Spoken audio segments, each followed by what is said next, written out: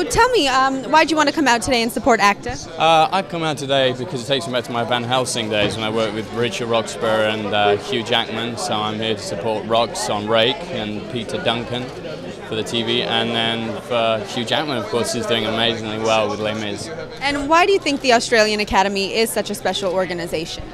I think it's a great idea, and I think that uh, just the show of talent, just just the array of talent from filmmaking, in front of the camera, behind the camera, you know, it's extraordinary, and they deserve to be recognised.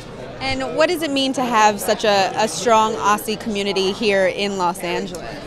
Well, I'm English, so I'm a little bit of I'm sort of treading on their toes. But I think I think the world of film and TV is so international anyway, and I mean I, I certainly love being in LA with lots of Australians and British. I think it keeps it interesting, and it, and it is a worldwide thing, you know.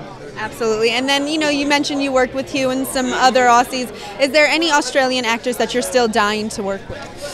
Uh, Russell Crowe, I haven't worked with yet. Um, no, but Hugh Jackman was a huge inspiration, and Rox as well, Richard Roxburgh. I, I learned a lot from them, and I have huge admiration so for both of them, and the work that they continue to do is, you know, phenomenal. And Russell is actually hosting today's show, so what are you expecting from him?